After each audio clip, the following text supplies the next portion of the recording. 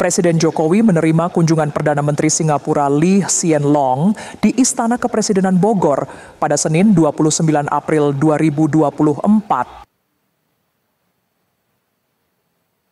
Diketahui sebelumnya pada 26 April 2024 Presiden Jokowi menerima kunjungan kehormatan Menteri Luar Negeri Singapura Vivian Balakrishnan.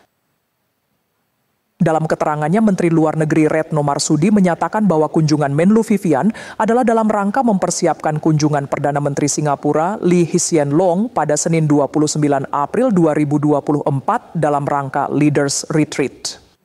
Ini menunjukkan pentingnya hubungan bilateral antara Singapura dan Indonesia.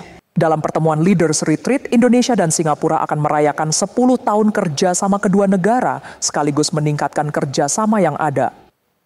Selain itu, dalam pertemuan yang digelar di Istana Kepresidenan Bogor, Jawa Barat, Indonesia dan Singapura juga akan membahas sejumlah isu penting, mulai dari ketahanan pangan, transisi energi, hingga pembangunan ibu kota Nusantara.